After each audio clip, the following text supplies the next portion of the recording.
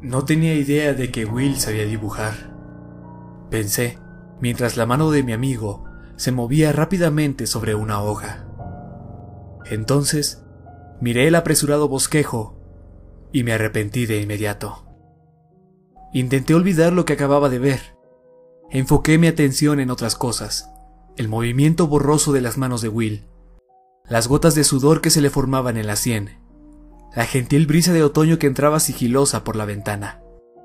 Cualquier cosa, con tal de no ver lo que formaba la tinta sobre el papel. No mires la página, solo no la mires. Sin embargo, sabía que tenía que hacerlo. Así lo hice. Y fue peor de lo que esperaba. Mucho peor. Había creado una copia casi exacta de un póster del tío Sam, a excepción de una cosa. El traje estaba ahí, su moño igual, pero no su rostro. Sobre los hombros del tío Sam descansaba la cabeza de una cabra. El animal mostraba una calurosa sonrisa, su pezuña me apuntaba y parecía salirse de la hoja, pero no quería que me uniese el ejército. No, esta criatura tenía otra cosa en mente. Quiero a tus hijos. Debajo de tal demanda, en letras un poco más pequeñas, decía, en la zona de diversión familiar del tío Gary. Próxima inauguración. Jamás había escuchado de la zona de diversión familiar del tío Gary. Pronto me enteré que dicho lugar fue crucial para un evento en la adolescencia de Will. Y aunque habíamos sido buenos amigos por 15 años, nunca me contó esa historia. No intentaba hurgar en viejas heridas, solo quería que me contara una historia, la que fuera. Había estado escuchando mucha radio pública últimamente, e inspirado por las anécdotas que puedes oír ahí, sobre la vida diaria de las personas, compré un equipo de grabación profesional e improvisé un estudio hogareño. Mi meta era capturar y archivar las historias de mis amigos, familiares y de cualquiera que tuviese algo que contar. Llámenlo aburrición, si quieren. Solo soy un viudo con un hijo de siete años. Más allá de estar siempre con mi niño, necesitaba algo productivo con que entretenerme. Mi zona de grabación era bastante cómoda. Constaba de tan solo un par de micrófonos, una mesa pequeña y un par de sillas. Me sentaba un poco alejado de mis invitados. Sentía que la intimidad induciría resultados más emocionales y honestos. Ese era el plan y funcionó un poco demasiado bien. No me hubiese imaginado que mi pequeño experimento terminaría mal tan rápido. Y no fue solo a causa de la historia de Will y su dibujo del híbrido cabra humano. Antes de su entrevista, escuché una versión distinta a la misma narración de mi amigo, provista por la otra única persona que también vivió dicha experiencia, Caroline, una gran amiga y esposa de Will. Salí con Caroline por una temporada durante la universidad. Solemos bromear con que dicho periodo de tiempo pasó a algo más en algún universo alterno, y que constantemente aquella dimensión y la nuestra se cruzaban. Lo nuestro nunca estuvo destinado a funcionar. La relación terminó antes de ponerse seria. Entonces, Caroline empezó a salir con Will.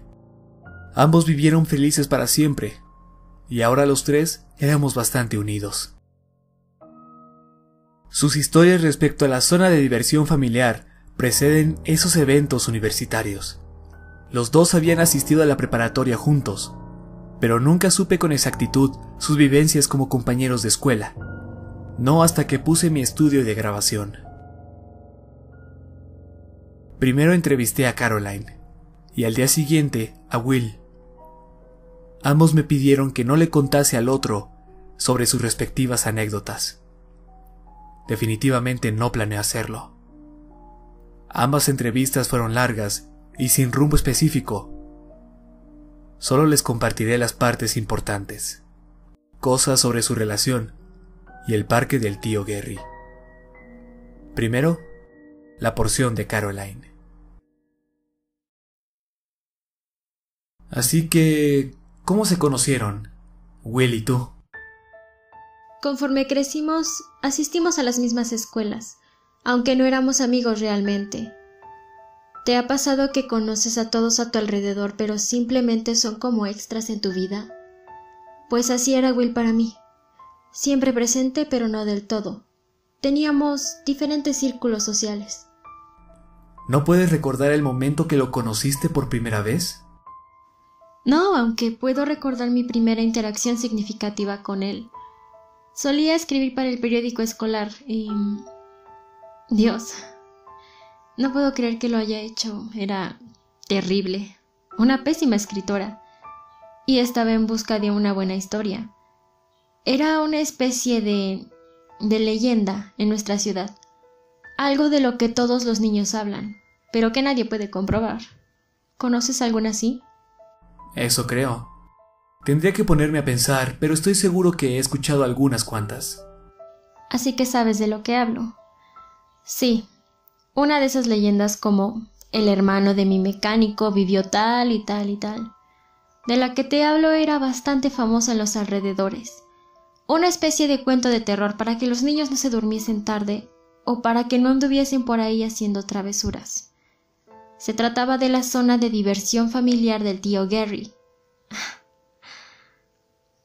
Cielos no había pensado en esto en años. ¿Zona de diversión familiar del tío Gary? El solo decirlo en voz alta lo hace sonar raro, ¿no? Como si alguien lo acabara de inventar.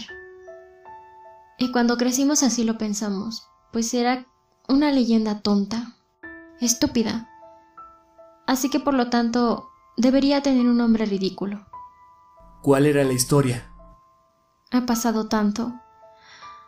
Pero de lo que puedo recordar es sobre una zona de juegos infantil, que existió a finales de los setentas y principios de los ochentas. Nadie lo recuerda con exactitud. Un tipo llamado Gary algo, al que todos llaman tío Gary, heredó de su abuelo un terreno en los bosques invirtió todo su dinero en atracciones para el lugar. Tú sabes, resbaladillas, trampolines, juegos como esos que te encuentras en restaurantes de comida rápida. Pero todo con temática de granja, por lo que el sitio lucía con un granero con un silo, aunque el interior solo albergaba juegos para niños. ¿Construyó eso en el bosque? Es lo que todos decían, pero lo perturbador del asunto es esto. Aparentemente hace como 30 años, un niño se deslizó por un tobogán hacia una piscina de pelotas y simplemente se desvaneció. No había rastro alguno de él. Creo que tenía cuatro o cinco años. No lo recuerdo bien. Como sea, vaciaron la piscina. Sin embargo, lo único que había en el fondo era una escotilla, la cual llevaba un pequeño espacio subterráneo sin salida. Nadie sabía por qué estaba ahí.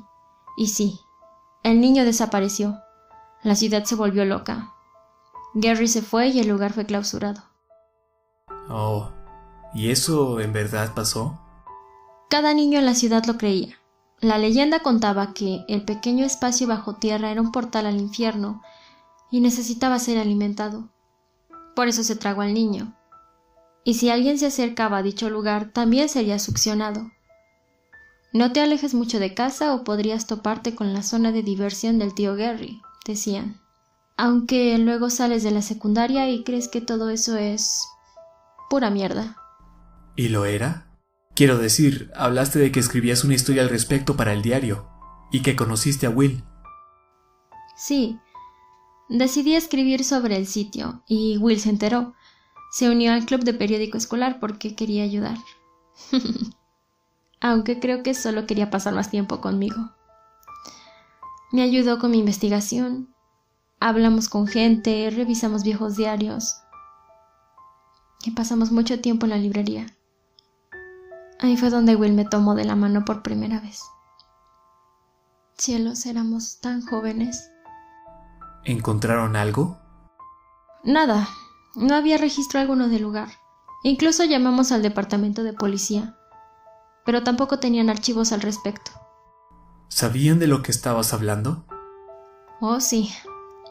Todos habían escuchado sobre el tío Gary. Y todos fueron bastante amables al intentar ayudarnos, a pesar de que eso no haya dado frutos. Mi artículo iba terrible, callejones sin salida por doquier. ¿Era eso lo que esperabas? No sé, solo creí que sería una nota genial. Así que tenía un montón de entrevistas con personas contando el mito, por lo que decidí solo escribir sobre eso. Pero entonces... Dios, en serio, que no había pensado en esto en años. Will vino a mí. Dijo que sabía dónde estaba la zona de juegos. Dijo que tenía direcciones. ¿A un lugar que no existía? Will dijo que sí existía. Estaba en los bosques, al final de un camino que no se encontraba en los mapas. ¿Cómo consiguió las instrucciones para llegar? Honestamente ha pasado tanto tiempo que no lo recuerdo. Creyeron de un viejo libro en la biblioteca. Creo que eso fue. En fin, las consiguió. ¿Fueron al lugar? Creí que jamás le contaría a nadie sobre esto. A nadie. No puedo creer que lo esté haciendo ahora. Wow, ¿en serio? Está bien si no quieres. No, no. No, no pasa nada, es solo que... De verdad, Caroline, no intento psicoanalizarte o arruinar tu matrimonio al traer horribles recuerdos. Está bien. Quiero que tú lo sepas. Quiero que tú lo sepas. No se suponía que estuviese ahí. El plan era que Will iría primero al lugar para revisar que fuese seguro. Yo me lo encontraría ahí un poco después, y así fue. Seguí las direcciones perfectamente por aquellos olvidados caminos de tierra. Di vuelta a la derecha donde yacía una enorme piedra como del tamaño de un auto. Seguí por un kilómetro y luego di otra vuelta a la izquierda en un pino con su tronco torcido. Las instrucciones estaban llenas de detalles como esos, aún así eran perfectas. Conduje por un largo tiempo y de repente la carretera se acabó. No había más a dónde ir. Y ahí estaba Will, parado a un lado de la vereda, con sus manos en los bolsillos, junto a su auto. Tenía esa mirada en sus ojos. Lucía diferente, casi como como si después de aquella noche hubiesen dos Will. El primero era aquel que me había ayudado a recopilar información sobre la historia, el que tomó mi mano en la biblioteca. Era tan lindo, tan tímido, tierno, inocente pero después de aquella ocasión cambió para siempre. O sea, nunca me miró de la misma manera. Y llevamos nueve años de casados. En total son... ¿Trece años de conocernos? Creo que sí. Y en todo este tiempo jamás me ha vuelto a ver de la misma forma a como lo hizo en la librería. Fue esa noche en la zona del tío Gary lo que lo cambió para siempre. Lo sé, Estoy segura. Fue esa noche. Caroline. ¿Alguna vez te has puesto a pensar en nosotros? Es decir, que el universo alterno sea el nuestro, en el que tú y yo estamos juntos. No. Mira, creo que debería dejar de grabar. No, por favor, es solo que... Will y yo... Nueve años sin hijos. Y ya no me mira como se supone que tiene que hacerlo. Se supone que debería darme un bebé y que deberíamos estar viviendo esta linda historia de amor, pero algo pasó. Y todo surgió esa noche. ¿Qué fue lo que ocurrió? Me estacioné a un lado del camino, aquel que nadie había transitado en décadas. Y como dije, Will lucía distinto, le pregunté si es que había encontrado el lugar y dijo que ahí estaba. La zona de diversión del tío Gary estaba ahí. Will tomó dos linternas de su auto y caminamos a una pequeña senda a través de algunos arbustos. Luego el parque emergió frente a nosotros. El granero, el silo, todo, Era muy extraño, como si se hubiese materializado de la nada. Estaba oscuro, así que sí, sé a qué te refieres. La zona estaba rodeada por esta valla de estacas. Cada tabla estaba pintada de amarillo, verde o púrpura. Estaba en mejores condiciones de lo que uno se esperaría, pues después de años sin mantenimiento debería estar en ruinas o algo así, pero no. ¿Entraron? Recorrimos todo el camino para eso, ¿no? La entrada principal constaba de dos enormes puertas de madera. Quizás medían cuatro metros de alto. Encima de estas un letrero que decía la zona de diversión familiar del tío Gary, con el dibujo de un granjero al lado. Alguien vandalizó el cartel, pues habían pintado XS sobre los ojos de la caricatura. Casi todas las letras estaban cubiertas de spray, a excepción de unas cuantas, las cuales deletreaban la palabra vete. A esta le habían añadido signos de admiración. Al menos ahora sabía que no éramos las primeras personas en encontrar el sitio. Recuerdo que no sabía si eso me hacía sentir mejor o peor. ¿Quién entró primero? Fue Will. Empujó la puerta. Esta chilló fuertemente, y me sentía nerviosa de que alguien pudiese escucharla, pero estábamos en medio de la nada. Sabes, eso fue algo tonto. Will encendió su linterna, la apuntó hacia el frente y brincó para atrás, asustado. Nos encontrábamos frente a una enorme estatua de una cabra, hecha de fibra de vidrio. Medía mínimo dos metros de alto. La cabra estaba de pie con sus patas traseras como una persona, y con las pezuñas delanteras parecía que abrazaba algo invisible. Mm, imagino que era para tomarse fotos, de esas en las que asumes una pose junto a la figura para luego capturar la imagen, y estaban por doquier. ¿Qué cosa? Estatuas de animales de granja. Cabras, ovejas, vacas, cerdos todos de pie como si fueran humanos, todos con sus patas hacia enfrente, como si quisieran abrazarte. Estaban regadas por todo el lugar como soldados haciendo guardia. La mayoría parecía estar cubierta de hollín. La capa de suciedad era gruesa, casi de tres centímetros. Aún recuerdo la sensación en mis dedos, húmedos y pegajosos. No tengo idea de qué era esa sustancia. ¿Qué más había en el interior? Resbaladillas, por todos lados. Resbaladillas, pasamanos, puentes colgantes, una pequeña cancha de baloncesto.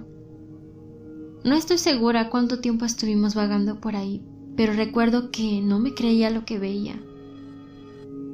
Estaba tan oscuro y callado. Dimos muchas vueltas perdidos en aquel lugar que parecía no tener fin. En algún punto volteé hacia Will y le dije, es como un laberinto. Y justo en ese momento nos topamos con un cartel que decía, el asombroso laberinto de sembradíos de maíz. Nos encontrábamos justo en la entrada, aunque claro, no estaba hecho de maíz. Las paredes eran de madera, con plantas pintadas en estas. Ni locos nos meteríamos ahí. ¿Encontraron la alberca de pelotas? Sí, estaba al final del tobogán más alto y ancho de todo el lugar, justo en el centro del granero, y la piscina era inmensa, 12 metros de diámetro y como dos de profundidad. Sin embargo estaba vacía, solo quedaba un enorme pozo en el suelo con una escalera por la que podías descender. Desde donde nos encontrábamos se alcanzaba a ver la compuerta que yacía en el fondo. Will volteó a verme, se encogió de hombros y dijo para eso estamos aquí, ¿no? Bajamos y conforme nos acercábamos a la escotilla, noté que nuestros pasos resonaban en el lugar, aunque era un eco peculiar. No duraba mucho, se esfumaba rápido, como si algo succionara el sonido. No puedo creer que hayan hecho esto. Fue pura adrenalina. Nuestras lámparas apuntaban directo a la compuerta. Esta tenía solo una manija de metal, sin candado, la vimos por unos momentos sin decir palabra. Parecía que en cualquier momento se abriría por sí sola, pero no ocurrió. Queríamos saber qué había dentro. Teníamos que saber, así que decidimos abrirla juntos. Tomamos el anillo de metal con ambas manos y jalamos. Creí que los huesos del niño desaparecido nos darían la bienvenida, pero solo nos recibió una nube de polvo y óxido, con un poco de aroma a azufre. Will bajó de inmediato y yo, muy a mi pesar, lo seguí. Los relatos estaban en lo cierto. Solo era un pequeño pasillo sin salida, seis metros de longitud aproximadamente, y luego solo una lisa pared metálica. La recorrimos con nuestras manos y quizás encontraríamos alguna palanca escondida o botón secreto, pero no. Entonces escuchamos ruidos desde arriba. Dios mío. Algo había bajado a la alberca, porque lo primero que escuchamos fue un golpe duro y seco, acompañado de un eco extraño e inconfundible. Luego unos pasos justo encima de nuestras cabezas, dirigiéndose a la escotilla. Apagamos las luces y nos pusimos de espaldas contra la pared de metal. Will puso un brazo a mi alrededor y me tapó la boca con su mano. Yo hice lo mismo con él. Mis piernas comenzaron a temblar tanto que hasta hacían ruido. Will tuvo que sujetarlas por mí.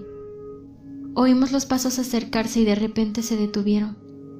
Quería asomarme, descubrir qué había ahí, pero no deseaba que lo que fuese que estuviera allá arriba me viera. Aún así, alcancé a percibir su presencia. Sabía que estaba ahí. Sentí cómo se agachaba hacia el agujero y nos observaba. Estoy segura de ello. Incluso lo escuché respirar suavemente. ¿Dijo algo? No, solo nos observó por un tiempo. Yo no abrí mis ojos. De un momento a otro la escotilla se cerró bruscamente, provocándonos saltar y golpearnos la cabeza contra el techo del túnel. Nos quedamos una hora ahí abajo, en silencio. Eventualmente reunimos el coraje para arrastrarnos hacia el otro extremo, atravesando la densa oscuridad. Y yo rezaba, rezaba, porque esa cosa, persona o lo que sea, no estuviera ahí adentro con nosotros. Estábamos demasiado asustados como para encender las linternas. Cada centímetro que avanzaba pensaba hasta que llegué extenderé mi mano y solo voy a sentir algo cálido y comenzar a rugir. Pero llegamos al final, y muy despacio abrimos la escotilla. Gracias a Dios no nos había encerrado. Subimos y huimos, y ni siquiera recuerdo mis piernas moverse. De un momento a otro estaba corriendo luego en el exterior y luego en el auto, solo así, sin detalles, pero estábamos a salvo. ¿Le contaste esto a alguien? ¿Escribiste tu artículo? Will me siguió a casa. Hicimos la promesa de nunca hablar de eso. Ya habíamos tenido suficiente. Nada de artículo para el diario, nada de nada. ¿Por qué no? Creo que nos topamos con algo que nunca debimos haber visto. Algo que sabía que estábamos ahí. Creo que nos dejó ir con una advertencia. No queríamos hacerlo enojar. Nos habían dado una segunda oportunidad. Dices que es una cosa. ¿Por qué? Es solo un presentimiento. Algo en los sonidos que hacía al caminar, la vibra que irradiaba, no se sentía humano. Honestamente, no puedo creer que no hayas hablado de esto desde la preparatoria. Tuvieron que sacar el tema alguna vez, ¿no? Will es... Amo a Will, pero eso lo cambió. Me cambió a mí. ¿Cuánto tiempo ha pasado desde que Grace falleció? 15 meses. ¿Y ustedes no tenían secretos? ¿Cosas de las que no hablaban? Charlábamos de todo. Al menos de mi parte sé que lo hacía. Y estoy seguro que no me ocultaba algo. ¿Cómo era el tener un matrimonio como ese y un niño al cual amar? Creo que lo que teníamos era único. Y Tyler lo es todo para mí. ¿Alguna vez pensaste... Detuve la grabación. Caroline cambió el tema a uno que no me interesaba seguir. Se fue poco después, haciéndome prometer que no le diría nada a Will. Le di mi palabra. Mandé su entrevista a la papelera de reciclaje y recuerdo que dejé mi cursor encima del botón vaciar por unos segundos, dubitativo. Pero no borré su audio. No podía hacerlo. Volví a guardarlo en una carpeta. Will vino al día siguiente para su entrevista. Empezó bastante aburrida. Los primeros 20 minutos estuvieron enfocados en sus años de preparatoria, los días que solía jugar béisbol y su amor por las películas de acción ochenteras. Nada revelador, nada profundo. Sin embargo, eso cambió repentinamente. La conversación se dirigió a temas de amor y matrimonios. Intenté evadirlo, pero surgió de forma natural. Will dudó por un momento. Se quedó pensativo. Esperaba porque no lo dijera, pero él me miró directo a los ojos y preguntó. ¿Alguna vez has escuchado de la zona de diversión familiar del tío Gary? Mentí. Contesté que no. Él tomó una hoja de papel e hizo el dibujo del tío Sam Cabra. Aquí es donde su versión comienza. Estaba en clase de español, creo, cuando de la nada vi a esta linda chica en la fila de al lado, dibujando furiosamente en su libreta. Dibujaba esto. Dijo Will, sosteniendo el bosquejo que acababa de terminar. No sé cómo explicarlo, pero había algo familiar en el boceto. Así que después de clases fui a preguntarle, ¿qué es esa cosa del tío Gary? pues jamás había escuchado del maldito lugar. ¿Era alguna locación de tu ciudad? Ese es el detalle. Aparentemente era un lugar para pequeños que existió en los setentas, en el cual un niño se ahogó en una alberca de pelotas o algo así. Caroline me contó la leyenda, alegando que era la más famosa de nuestra ciudad. Dijo que escribía una nota al respecto para el periódico escolar, pero jamás había escuchado dicha leyenda. Le pregunté a todos mis amigos, a mis padres, maestros, si es que la conocían. Y de todos obtuve la misma respuesta. ¿De qué estás hablando? Eso me hizo sentir sumamente curioso. ¿Acaso esta linda chica está jugando conmigo? ¿O solo tiene una alocada imaginación? Ya que, según Caroline, este mito era tan famoso como Pie Grande, el monstruo del lagonés y similares. ¿Estás seguro de que le preguntabas a las personas adecuadas? Búscalo en Google si quieres. No dará ningún resultado sobre la zona de diversión familiar del tío Gary. Y si se supone que la leyenda es tan famosa, no debería tener algo de presencia actualmente en Internet. Pero no. Eso sí es increíble.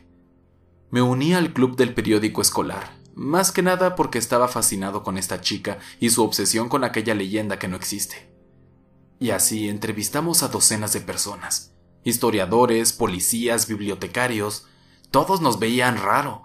Nadie había escuchado del tío Gary, lo que solo me hacía sentir más y más intrigado.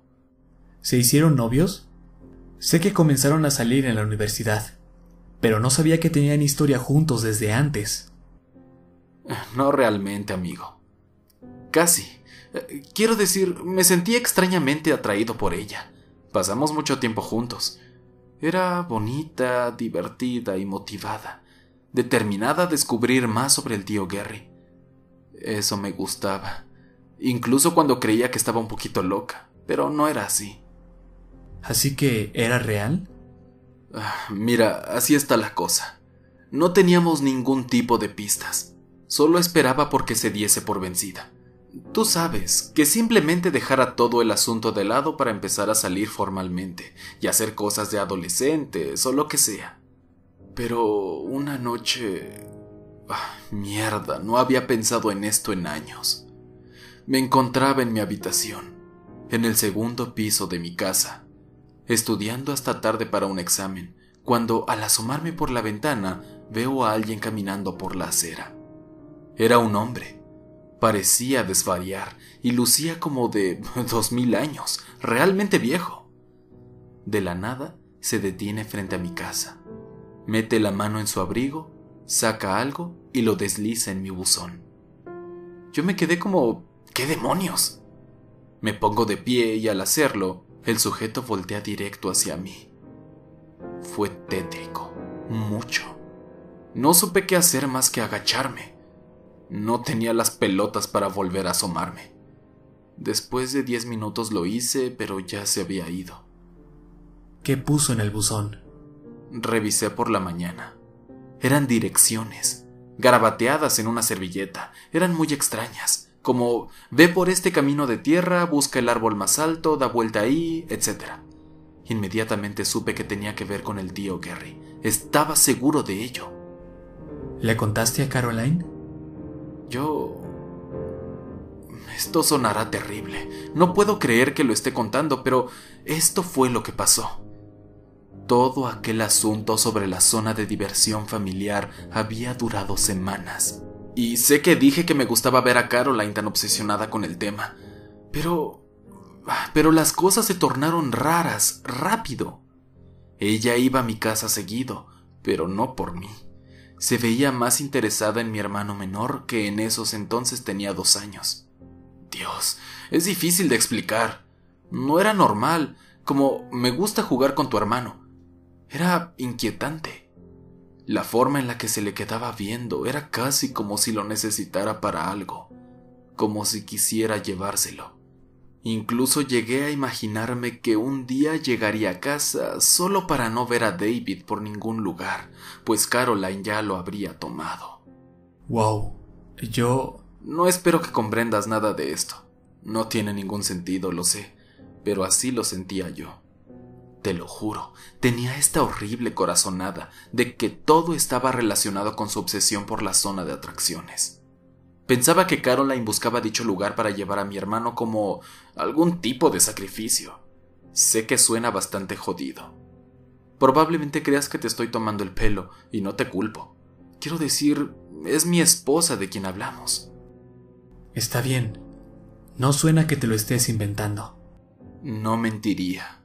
No sobre esto. ¿Le has contado a alguien? No.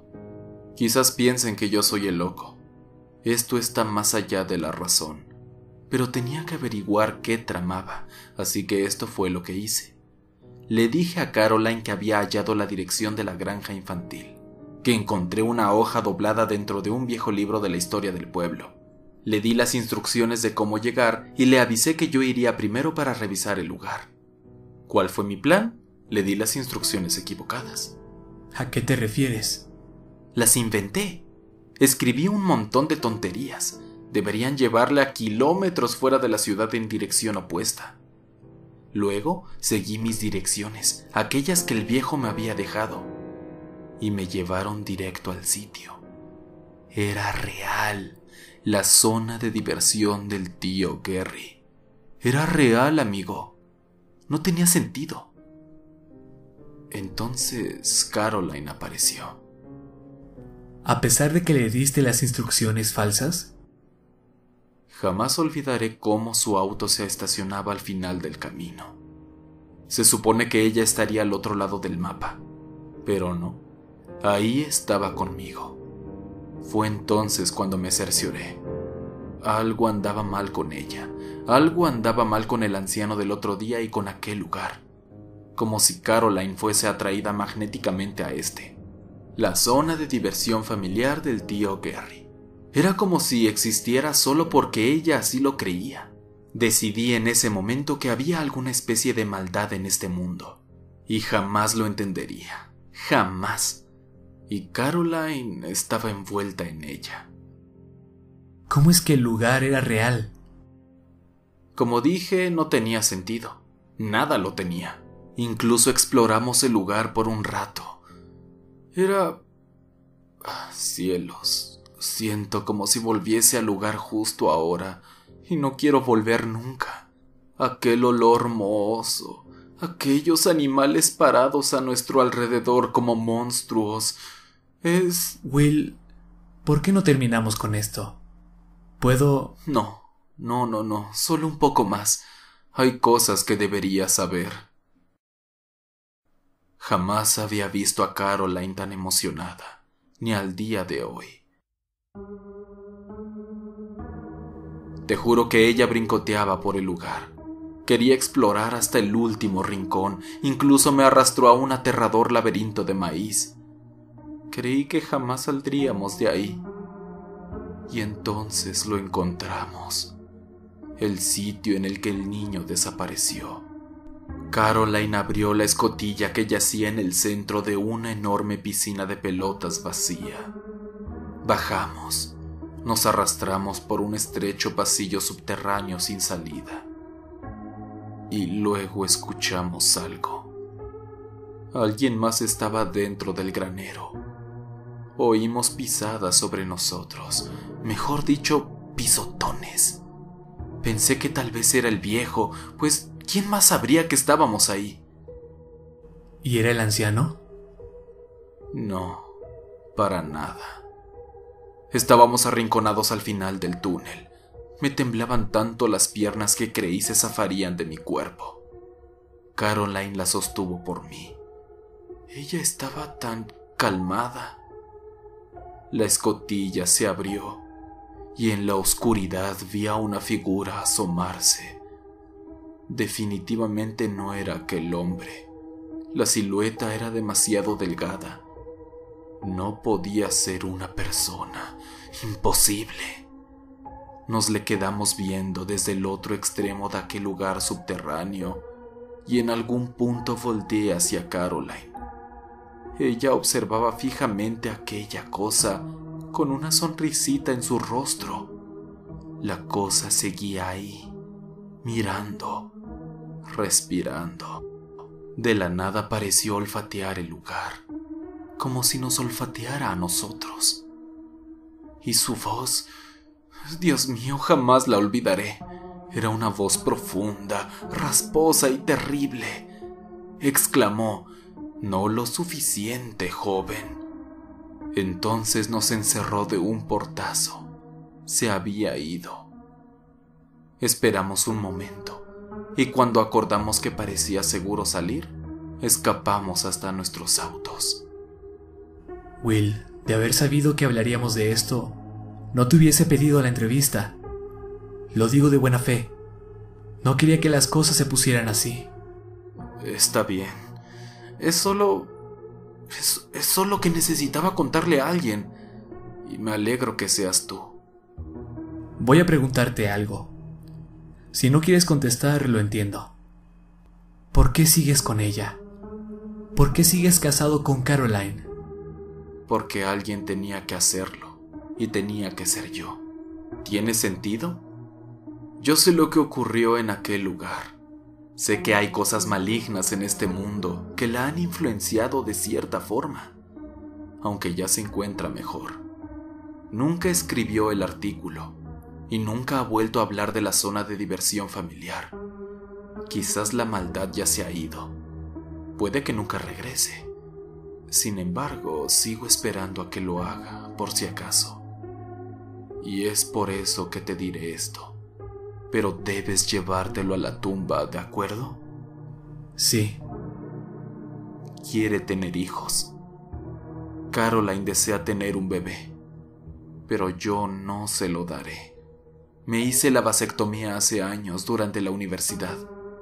No le daré un bebé, no después de todo lo que pasó.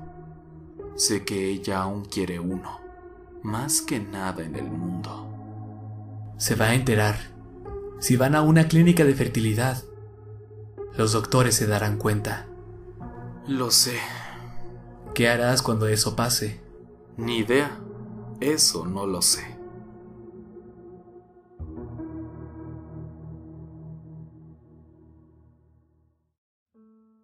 Mi corazonada inicial resultó ser acertada. Un estudio íntimo y acogedor sí incita a pláticas honestas. Lo que experimenté con mis amigos fue la forma más extraña de sinceridad que haya visto y, sinceramente, no quiero volverla a experimentar. Quería deshacerme de todo el estudio, incluso tener los archivos de audio en la computadora. Me hacían sentir que cosechaba algo maligno.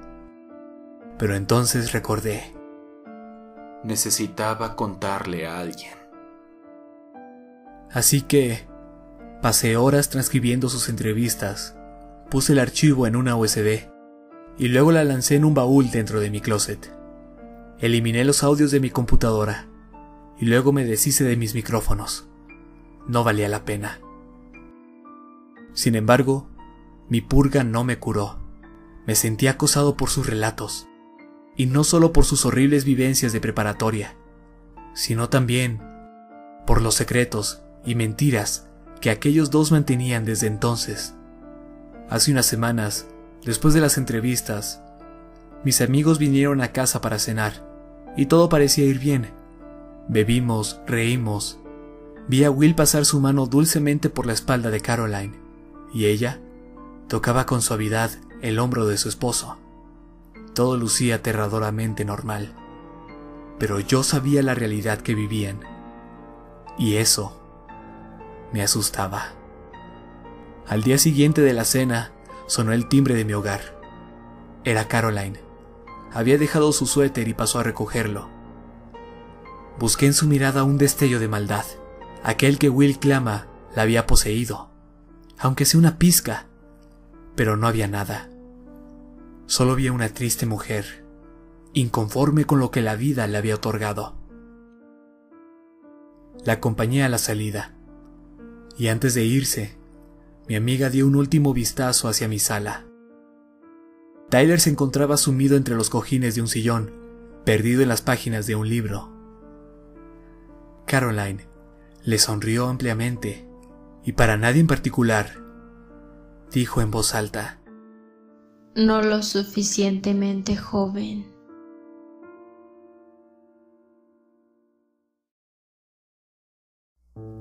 Gracias por ver el video. Espero lo hayas disfrutado. Si fue así, ¿me echarías una mano compartiéndolo? Si quieres estar al tanto de lo que subo, te invito a que te suscribas y actives las notificaciones. Eso fue todo por esta ocasión. Nos vemos luego.